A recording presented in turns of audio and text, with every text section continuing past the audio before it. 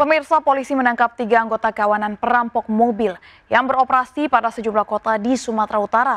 Dalam aksinya, pelaku dikenal sadis, mempersenjatakan diri dengan senjata api.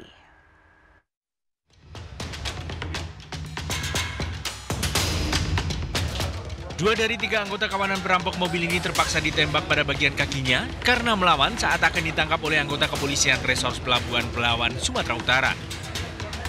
Dalam melakukan aksinya, ketika pelaku biasanya mengincar mobil bak terbuka, baik yang sedang diparkir maupun yang sedang melaju di jalanan sepi. Kawanan ini dikenal sadis karena tak jarang mengancam dan melukai korban dengan senjata api. Kepada polisi, mereka mengaku beraksi berpindah tempat di wilayah Kota Medan dan Kabupaten Deli Serdang.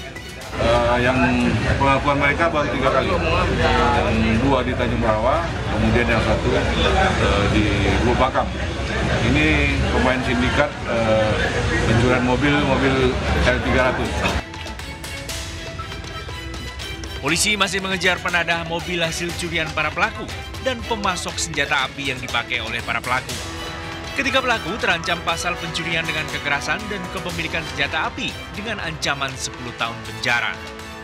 Dari Medan, Sumatera Utara, Yuda Bahar, iNews melaporkan.